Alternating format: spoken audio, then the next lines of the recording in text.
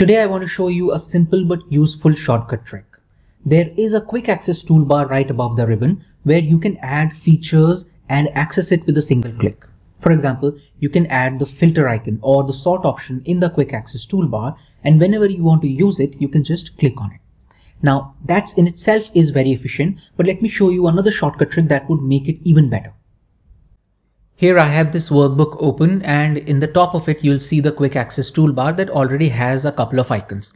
Now what you can do is you can add any function or functionality that you see within the ribbon into this quick access toolbar and access it quickly. So for example, if I want to, let's say remove the grid lines. So I can go to the view tab here and then I can go to this grid line option and then right click and then go to add to quick access toolbar. And when I do that, it adds this option here. Now, if I want to remove the grid line, I don't have to go to the view tab and then click here or remember the long keyboard shortcut, which is Alt WVG.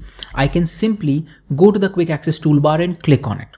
But even better option is when you hold the Alt key and press the Alt key once, you will see that these numbers appear in these icons in the quick access toolbar. And when you then press that number, it is going to run and do whatever that icon does. So for example, if I want to remove the grid lines from this workbook, I can press the Alt key, then leave it. It shows these numbers and press the 5 key and instantly it is going to remove the grid line. So this is even faster than going here and clicking on it because we know that keyboard shortcuts are always faster than using your mouse. So you can add similar such options. One another option that I often use is to clear everything. Now if I want to let's say remove everything including the data and the formatting, I cannot do it using the delete key because it only removes the data.